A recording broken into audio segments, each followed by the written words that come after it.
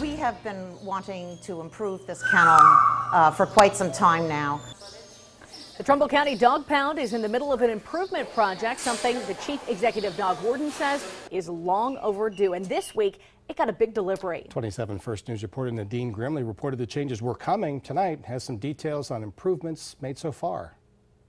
It's amazing what just a few changes can do to a room, transforming the pound from this to this. This is a huge improvement for us and for the dogs. We were able to put together a good team, construction team. There's going to be more improvements out here. Uh, the entrance, uh, some other improvements in this facility, as well as some aesthetic improvements as well. These colorful, brand new cages are equipped with bone shaped weights, allowing workers to open insulated doggy doors easily.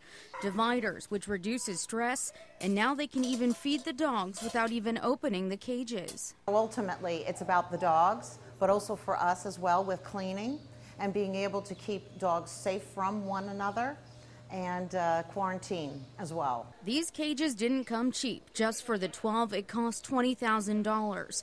Add an extra 5 grand to install, and the money that paid for the bill all came from dog license fees. Commissioner Polivka in particular has been instrumental in helping us move forward with this project. Um, because of his construction background, he was able to help us uh, get exactly what we want and make sure the building was ready for these cages.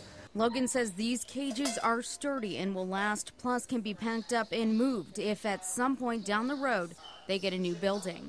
In Howland, Nadine Grimley, WKBN 27 First News.